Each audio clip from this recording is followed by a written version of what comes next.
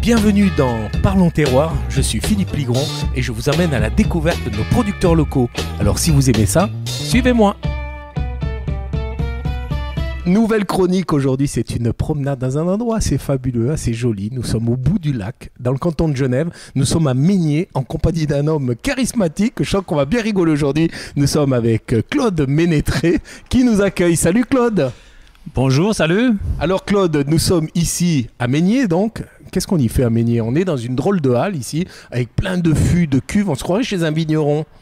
Alors on est dans une cidrerie.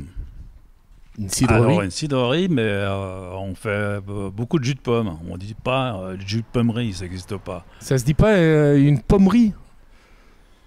Je sais pas, c'est toi qui sais. C'est bien dommage, d'ailleurs. L'his- L'historique de tout ça.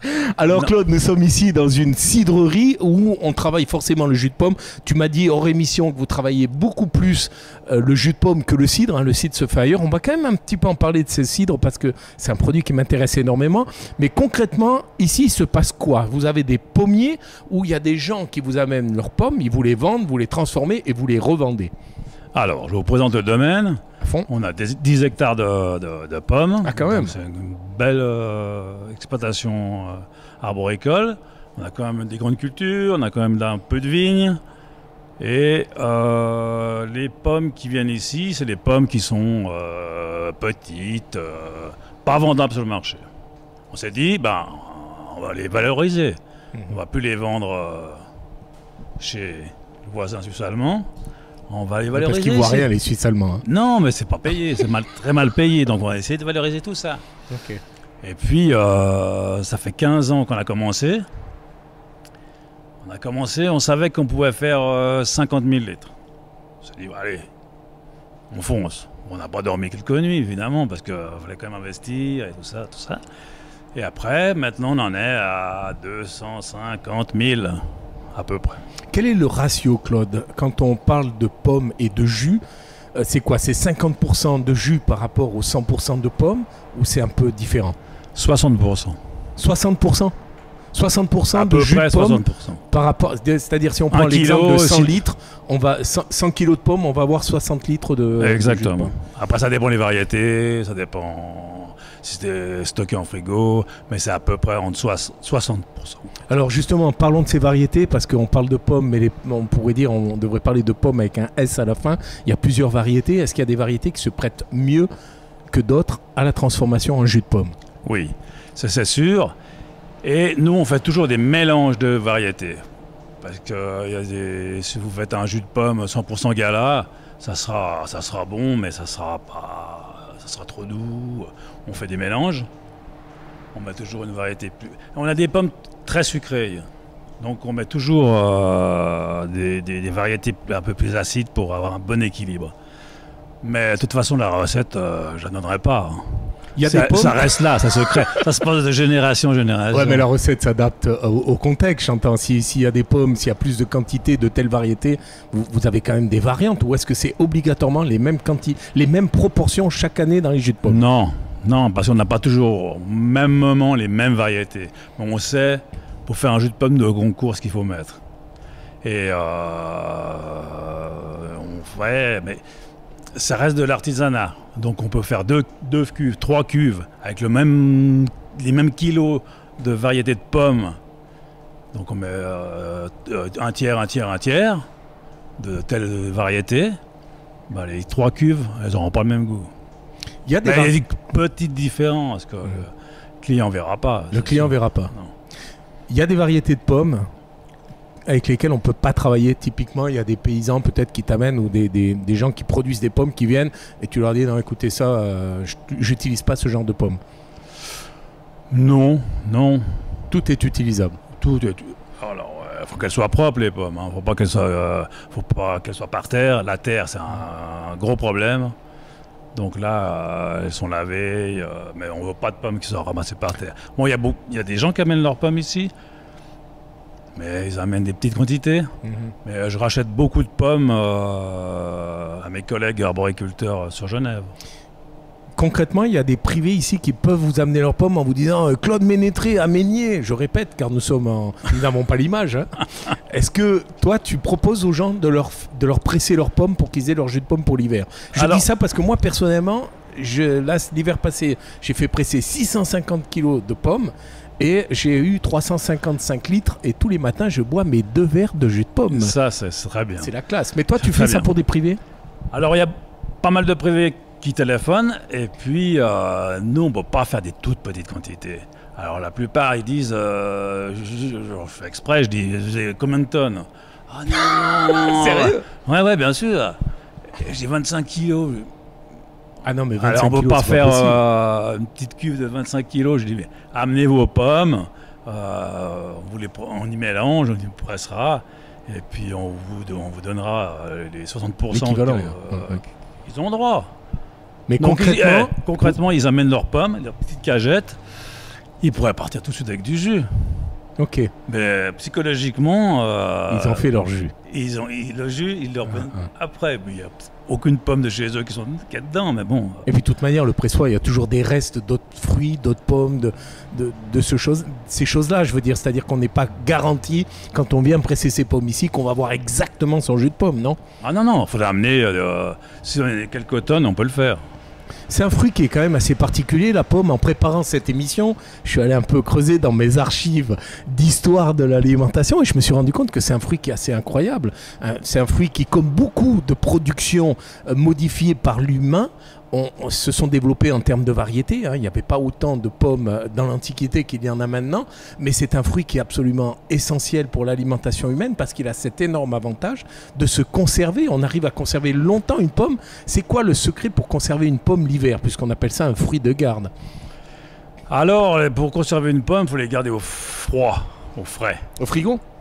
Moi, j'ai une chambre froide qui est à 1-2 degrés. 1 à 2, à 2 degrés, c'est froid quand même. Et puis, il faut beaucoup d'humidité. Donc, dans un frigo, on a 4 degrés, mais on n'a pas d'humidité. Donc, euh, ça va se garder moins bien, oui, hein, euh, dans une cave, euh, une vieille cave, euh, comme à l'époque, quoi, Mm. sur terre battue. euh, mais on n'aura pas 2 degrés, mais des variétés qui, qui se gardent beaucoup mieux que d'autres. Claude, vous utilisez ici les pommes que vous transformez en jus de pomme. Vous faites donc du jus de pomme. Est-ce que vous faites d'autres produits? On va arriver au cidre après, mais est-ce qu'il y a, à part le jus de pomme et le cidre, d'autres produits que vous fabriquez ici, toujours sous le label GRTA, Genève Région Terre Avenir, et surtout Genève Terroir? Alors on fait du cidre? Non, on ne le fait pas nous-mêmes. On, amène le jus et on, le fait faire. Et on fait du. On de séduction parce que le, on a le jus de pomme, le, le- le vin, vin de pomme, on n'a pas le droit d'appeler vin, c'est de la pomme. Alors on a fait ça la séduction. On fait du. De la séduction. On va goûter, goûter ça tout à l'heure. de. C'est alcoolisé, je ne bois jamais d'alcool. hein. Ouais, mais bon, c'est pas alcoolisé, tu risques, rien. On fait de l'extraction. Le jus de pomme, on sort, c'est une machine qui fait ça. hein. On sort du, de l'eau du jus de pomme, on le concentre, on concentre à 150 degrés à Donc du jus de pomme concentré.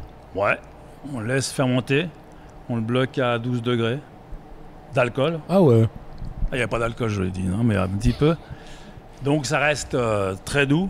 C'est comme une vendange tardive. euh, c'est très intéressant. Et ça, Super ça s'appelle comment? Parce que produit. c'est quand On même un produit qui est peu séduction. Ok, d'accord. Et pour le cidre, car c'est quand même, c'est marqué en gros cidrerie ici, le cidre, il faut des variétés de pommes spéciales pour faire du cidre. Non, nous on a des pommes qui. euh, Vous prenez les pommes euh, normandes, euh, elles sont pas mangeables à la main. hein. C'est très, c'est très, très acide. C'est pour ça qu'ils ont En 3, même temps, avec 4 le soleil qu'ils ont là-bas, euh, Ouais, c'est sûr. ça, va être compliqué. hein. Et puis c'est les variétés aussi, hein, c'est sûr. Le cidre, c'est quoi? C'est du jus de pomme euh, fermenté, Tout simplement. Comment ça se fait-il qu'en Suisse, on ne soit pas plus producteur de cidre? Alors, on a des brasseries artisanales, très bien, j'en suis très heureux. hein. Moi-même, un, un amateur de bière artisanale, il y en a partout qui fleurissent, alors qu'on sait que la plupart du houblon et du malt qu'on utilise viennent de l'étranger. Alors qu'ici, on a des pommes, on arrive à faire un produit tel que le cidre, qui en plus est un peu la bière pour les personnes qui aiment bien euh, euh, boire des boissons un peu plus légères que certaines bières un peu musclées. Pourquoi on n'a pas plus de cidre en Suisse? Alors en Suisse, oui. En Suisse allemande, beaucoup. C'est plutôt en Suisse romande que euh, c'est pas très. Ça, démarre gentiment maintenant, ça redémarre. En Suisse allemande, il y a beaucoup, de cidre. Suisse romande, moins. On était parti sur des, du cidre à la pression. Mais c'est encore pas. Voilà, c'est encore, C'est encore, plus compliqué. c'est encore de l'avenir. C'est plus compliqué à gérer parce que tu disais, on est, on est parti sur du cidre à la pression. C'est que la bière, avec la pression, c'est plus compliqué à gérer que de la bière en bouteille. C'est pareil pour le cidre alors? Oui, oui, c'est plus compliqué. C'est un produit qui est moins stable. Exactement, tout à fait. Parce que le jus de pomme, nous, euh, on presse, on laisse euh, décanter euh, une nuit, on laisse descendre tous les, les bourbes, puis le lendemain, on le prend, on le pasteurise à 75 degrés à peu près. Et puis, euh, comme ça, ça fermente pas, ça bouge pas. Quoi. 75 degrés, c'est chaud pour une pasteurisation. Ouais, mais euh, voire plus haut pour euh, le jus de poire, on devrait passer plus de 80 degrés. Jus de raisin aussi. Claude Ménétré à Meignier. tu es donc exploitant agricole quelque part, tu fais du jus de pomme, tu fais du cidre. J'imagine que dans cette aventure, tu n'es pas seul car nous avons Corinne à côté. C'est un travail de longue haleine, ça c'est un peu comme ce monde agricole où on fait énormément d'heures. Ou est-ce que c'est un travail très saisonnier, la pomme, et après on la met dans les chambres froides et on s'en occupe plus pendant des mois et des mois? Alors non, on essaie de, de presser le maximum en automne, de septembre à décembre. C'est là où on a les meilleures pommes. Euh, celles qui sortent de frigo, elles ont moins de jus, elles sont, elles sont bonnes, très bonnes, mais elles ont moins de jus. Quoi. Alors on essaie de presser. euh, là, on a Florian à côté de nous. Quel, euh, Florian Monet qui nous fait le plaisir d'être là. On va discuter un petit peu avec Florian. ah, Juste après, on va voir si c'est un bon le- patron, Claude. hein. Le Tu pourras te lâcher, il n'entendra euh, rien de ce que tu vas dire. hein. T'inquiète pas. On coupera. c'est le spécialiste du jus. C'est le spécialiste du jus. Je veux faire une comparaison avec le raisin, donc le vin, le jus de pomme. Euh, Est-ce que les pommiers, ça demande aussi beaucoup de travail en amont, enfin le reste de la saison, on sait que dans la vigne, il faut couper, il faut tailler, il faut, enfin, il y a toute une technique, toute une méthodologie de travail avant les vendanges. Est-ce que c'est pareil pour les pommiers? Ou est-ce que les pommiers, on s'en fout un peu, ça pousse tout seul? Ça pousse tout seul, on fait rien. On vient au mois de septembre. Donc Corinne à la belle ville, on reste du temps en voyage. Bon, oui, on, est toute l'année en voyage. T'as choisi un Bon. bon métier. hein. Pour bien au mois de septembre qu'il n'y allait pas. Non, non, c'est euh, plaisanterie. Euh, c'est beaucoup de travail. Hmm. C'est plus de travail que la vigne. On commence à tailler les, les, les- les arbres fin novembre et on finit euh, début avril. Tout l'hiver, on taille. Claude Ménétré, à Meignier, toujours. Il n'a pas changé d'adresse. Euh, nous sommes ici dans le canton de Genève. Euh, Régio Garantie, pour qui nous sommes là aujourd'hui. On va parler de GRTA, Genève, Région Terre et Avenir. Euh, Genève Terroir aussi. Est-ce que ces labels, euh, ces, ces sortes de reconnaissances ont changé ta vie? Est-ce que ça t'apporte un plus à toi? Oui, beaucoup. Je vends beaucoup grâce au label. C'est-à-dire? C'est-à-dire que moi, il y a des restaurants qui sont labellisés GRTA, il leur faut plusieurs produits pour être labellisés labellisés GRTA, dont le jus de pomme. Donc euh, c'est vrai que c'est presque tout vendu sur le canton de Genève. quoi. D'accord. À côté de toi, il y a Florian Monet, hein, qui ne dit rien depuis un petit moment, mais tu Non, m'as dit, ouais, ce serait bien qu'il soit pas là, parce qu'en fait, euh, c'est lui qui fait tout le boulot. Moi, je parle médias. Alors, on va te par- passer le micro, Florian, juste en deux mots. Salut à toi. Bonjour. Florian, tu fais quoi ici, toi? Alors moi je suis responsable de la production à la cidrerie, donc euh, je m'occupe, euh, euh, je m'occupe de, on va dire à peu près euh, tout ce qui concerne la transformation de la pomme en jus et pas mal de conneries aussi, mais enfin bon ça c'est pas- normal ça. Ça veut dire quoi concrètement euh, S'occuper de la transformation des pommes en jus? Ça, on l'a bien compris. hein, C'est-à-dire qu'on passe dans un pressoir. Mhm. Concrètement, un pressoir, ça se passe comment? C'est un pressoir mécanique C'est un pressoir hydraulique Je sais pas? Alors en fait ici on travaille avec un pressoir à bande, un pressoir en continu. C'est en fait c'est un pressoir euh, euh, qui, qui fonctionne avec deux pneumatiques. C'est complètement mécanique. Donc euh, bon euh, malheureusement on peut pas le voir, mais euh, non non c'est complètement mécanique. C'est un pressoir qui euh, sur le papier est capable d'assurer 1200 litres heure. Pas mal quand même. Ouais, donc en fait, nous, nos méthodes de travail, on va dire, on va dire, normalement, là, on a une capacité de 8000 litres. Nos méthodes de fabrication, elles se passent en deux jours. Pendant une journée, on va pressurer. Donc, on, va, on va presser à peu près 12 tonnes de pommes pour faire à peu près 8000 litres. Ça va prendre à peu près 6 heures. Et puis, euh, le lendemain, on va pasteuriser. Voilà, ça, ça se passe en deux jours. Quand on travaille ici, dans cette cidrerie, on a envie d'amener un peu sa touche personnelle, développer de nouvelles choses. Est-ce que ce monde de la pomme, du jus de pomme, des cidres, etc., est un monde qui est cloisonné, qui est- on en a fait le tour, ou est-ce qu'il y a des nouveaux produits à mettre Non, en a- avant, à développer? Non, non, il y a tout un tas de choses à faire. Il y a évidemment, a- C'est-à-dire? Ah ben on est toujours à la recherche de, de faire le meilleur jus, évidemment. On essaie de trou- toujours trouver euh, ben, un peu l'équilibre parfait. Euh, comme disait, comme Excuse-moi, disait- je te coupe, Oui. euh, Florian Monet. C'est quoi l'équilibre parfait pour du jus de pomme? Parce que là, il y a plein de gens qui nous écoutent qui doivent Ouais. se dire peut-être que j'ai bu du mauvais jus de pomme toute ma vie. C'est quoi pour toi un bon jus de pomme? Alors pour nous, le bon jus de pomme, c'est un jus de pomme qui est, qui est familial, qui est équilibré, c'est-à-dire que c'est un jus de pomme qui va plaire aux grands et aux petits. Alors évidemment, bah, les enfants, ils aiment bien tout ce qui est sucré, mais nous, on essaye toujours d'y trouver une pointe d'acidité, quelque chose qui fait un équilibre en bouche, et ça c'est quelque chose d'important. C'est pas tous les jours évident, donc on essaie toujours de trouver des méthodes qui permettent à un moment donné de pouvoir assurer notre recette. Et c'est pour ça qu'on a depuis que je suis là, on a trouvé, par exemple, on travaille maintenant avec des stockages en outre de 200 litres qui nous permettent de faire ce qu'on appelle du monovariétal. Admettons, un jour, on a, euh, on a beaucoup de Granny Smith. Alors, le jus de Granny Smith, c'est plutôt moyen, c'est très acide, mais c'est précieux pour nous parce que nous, ça nous permet par la suite de pouvoir faire nos mélanges et pouvoir faire des recettes qui nous plaisent. On a notre palais ici, Bah, c'est pas c'est pas pareil ailleurs, mais euh, ici c'est euh, c'est un peu c'est notre palais, c'est notre recette. On essaie de faire un jus équilibré. Tu parles de palais, de recettes. On Ouais. voit qu'il y a, il y a Claude qui est là, qui est un peu l'ancien, celui qui est né là-dedans. hein. Ouais. Est-ce qu'on travaille co-feeling ou est-ce que toi qui es un peu plus jeune, hein, Claude, tu m'en veux pas, hein,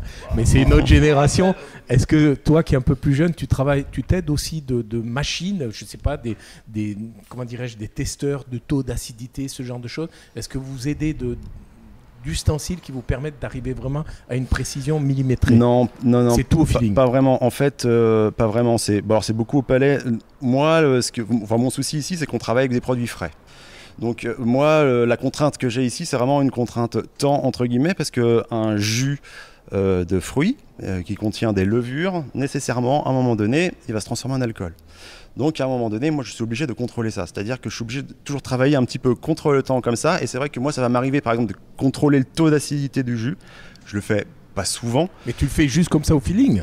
Non, pas au feeling. Ah, c'est un que moi, quand même. Ah bah, bien sûr, j'ai déjà le pH mètre. Moi, ça me permet de savoir eh ben, le, le taux d'acidité de mon jus. Je le fais un petit peu tout au long de la saison. De toute façon, il est toujours à peu près le même, mais c'est c'est vraiment, on va dire, c'est une contrainte un peu de sécurité par rapport à ça. Mais au niveau gustatif, non, pas du tout. Au niveau gustatif, c'est les variétés qu'on a dans la cour, Mhm. c'est ce qu'on a, et puis on fait un petit peu en fonction de ça.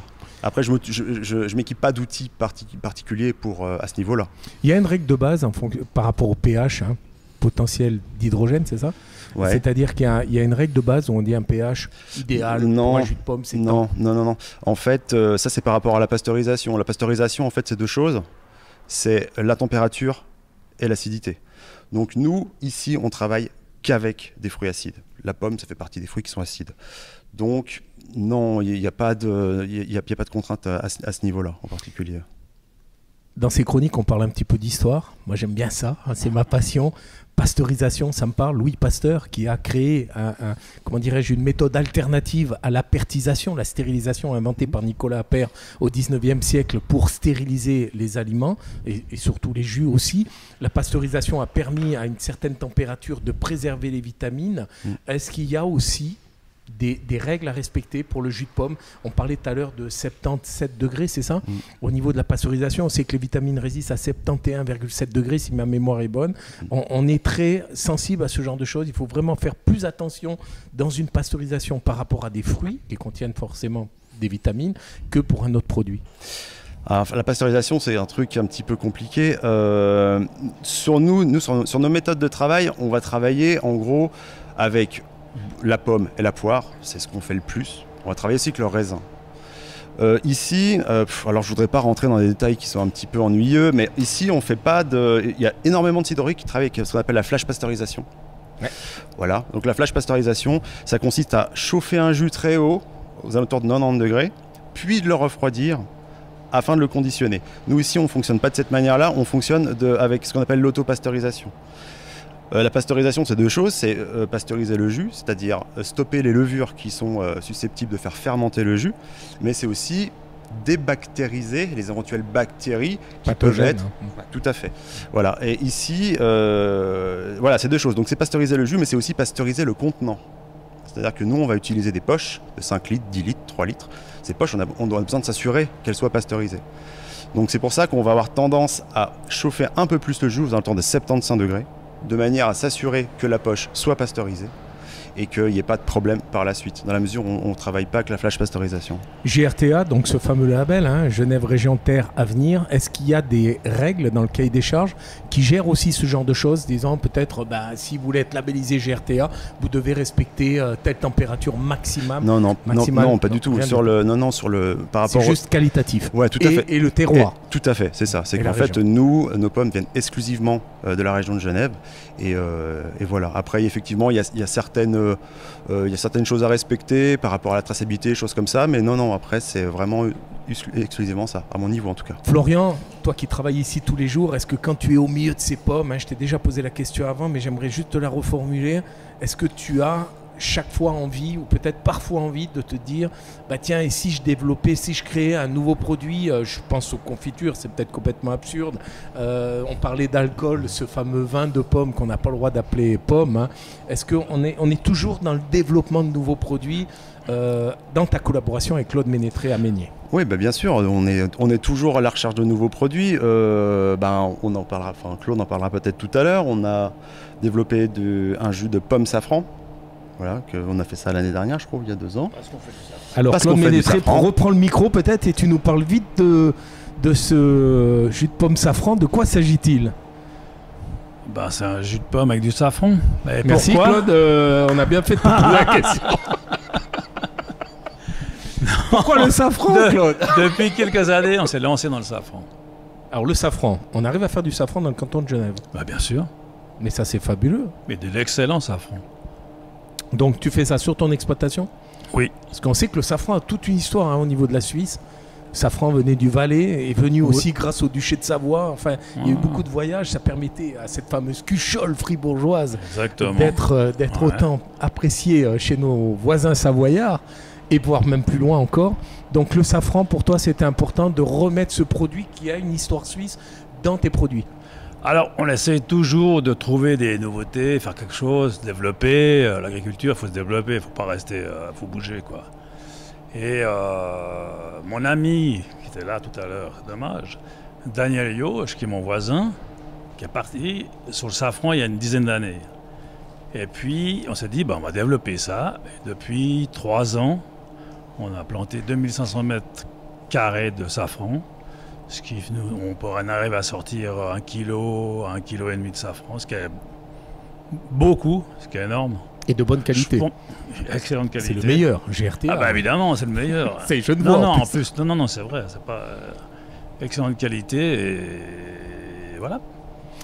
Claude, on arrive au bout de la transformation de ce jus de pomme. Forcément, quand on transforme du jus de pomme, on va séparer des matières qui étaient ensemble à l'origine, c'est-à-dire le jus et la pulpe. Cette pulpe, à la fin, elle devient quoi? Ah, c'est une bonne question ça. Ah ben, Je pose que des bonnes questions, Claude. Très bonne question. Alors, euh, au début, euh, on y met, on sait pas, non, euh, on y met dans les champs. C'est-à-dire, c'est pas donné aux animaux, par exemple? On a donné aux animaux aussi. Ils adorent, ils adorent ça. Mm. Et maintenant, on l'amène pour faire du biogaz. Ok. On n'arrive pas à transformer ça en faisant une sorte de, de confiture concentrée, ça, Ah, on peut faire de l'agneau, là. de, de l'agneau. Je Les Savoyards, que- ils prennent ça pour faire l'agneau, là. Ah ouais? Mais nous, on prend. Ils picolent en Savoie. hein. C'est pas qu'ils picolent, ils picolent pas plus que nous, mais nous, on prend Ah ce, bah, que- bravo. ce qui dire- Nous, on prend ce qui sort directement euh, le meilleur, quoi. Ouais, ouais. Parce que derrière, c'est c'est pressé. C'est encore humide. Mais bon, le meilleur, il est, il est sorti Il est sorti dans le jus. dans le jus. Donc là, vous valorisez ça en donnant au bétail, et puis tu me disais maintenant du biogaz avec. Ouais.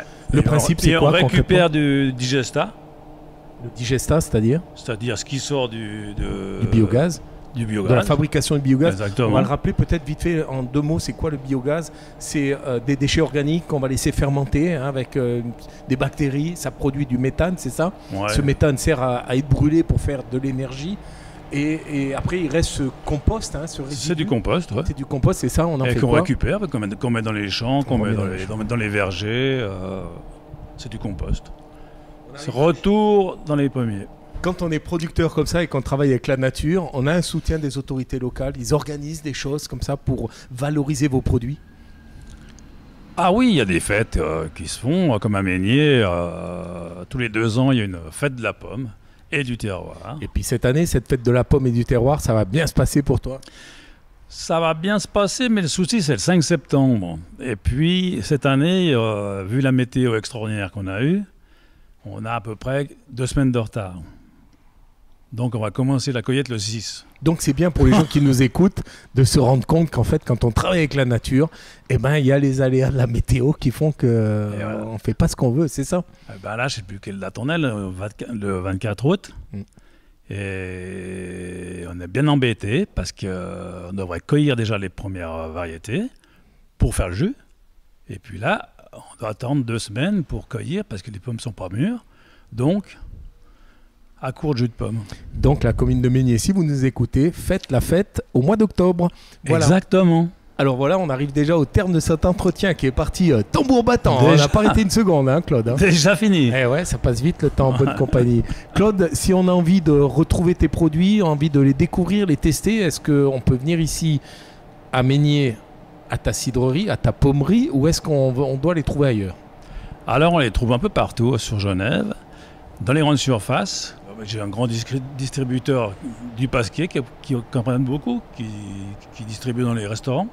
C'est plus simple que ce soit un distributeur qui le fasse que nous, qu'on aille livrer euh, deux clair. fois des litres, autre euh, chose une à faire. camionnette. Et puis, On va euh, presser les pommes ici. Ici, on s'occupe de presser les pommes. On, Et on déguste. euh, Mais on fait comme des livraisons.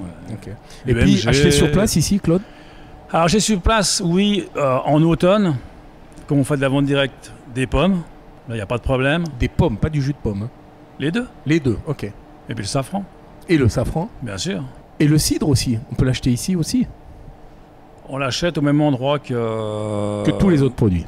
Exactement.